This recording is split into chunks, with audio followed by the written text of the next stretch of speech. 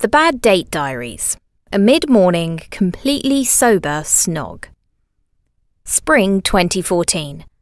I wake up to my alarm on a Saturday at 9am, having had five hours sleep. There is a WhatsApp message from dishy American Martin. Dollface, we still on for a cup of joe? My head feels like it has been turned inside out like a dirty sock, but I tell him I'll be there. We matched on Tinder three days ago, and it's been a solid stream of no way, that's my favourite Springsteen album. I believe in reincarnation too. Yes, perhaps we are all wanderers. And so on.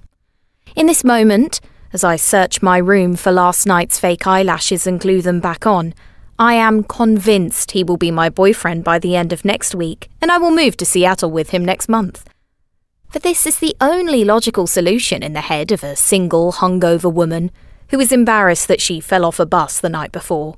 Marriage and emigration.